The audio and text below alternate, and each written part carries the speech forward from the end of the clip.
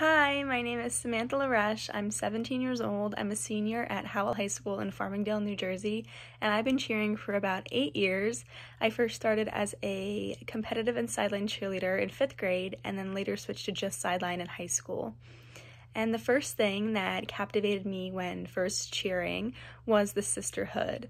You know, you spend so many hours a week with the same girls in the same gym, all having the same interests and the same goals, and it really just leads to a friendship based community, which I loved. I was really introverted growing up, and it was really hard for me to make friends, and cheer has really helped me you know, open up more and uh, break out of my shell a little bit. And it's definitely helped me become more confident myself over the years, which I am also very grateful for. It's given me lifelong friendships that I will have for the rest of my life, and I am extremely grateful for those too.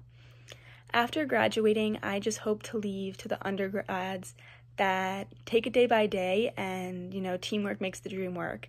Teamwork is something that we're always going to have to face, whether it's in a job or in other aspects of our life and you know to know yourself and to know how you work with others is just a really important aspect that I think everybody should know. Cheer has taught me so much about myself, how I work with others, and how I can deal with patience and responsibility. And I will take that with me for the rest of my life. I'm so excited to see what the future holds, and I know Cheer will have a place in my heart forever.